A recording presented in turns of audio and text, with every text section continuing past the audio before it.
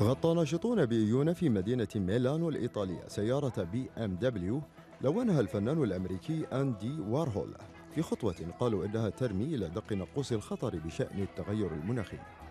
وفي العاصمة الفرنسية باريس ألقى نشطاء البيئة الطلاء البرتقالي على تمثال خارجي للفنان الأمريكي تشارلز راي لمطالبة الحكومة الفرنسية باتخاذ إجراءات قوية تجاه البيئة.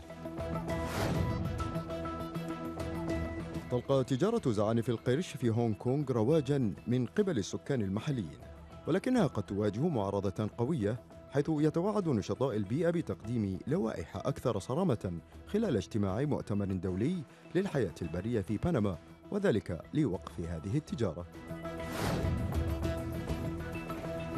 في ولاية فلوريدا الأمريكية وبدلا من وسائل الدفن التقليدية قامت شركة دفن بتأمين هياكل وتوابيت صديقة للبيئة لدفن الأموات تحت الماء. لتتحول المقبرة إلى نقطة جذب سياحية لعشاق الغوص.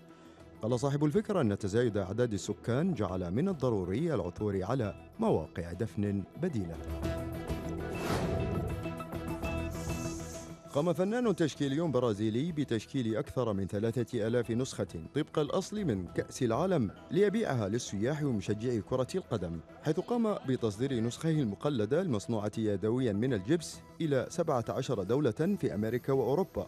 بما في ذلك تلك التي سلمها إلى نجوم كرة القدم البرازيليين السابقين مثل بيليه ورونالدينو.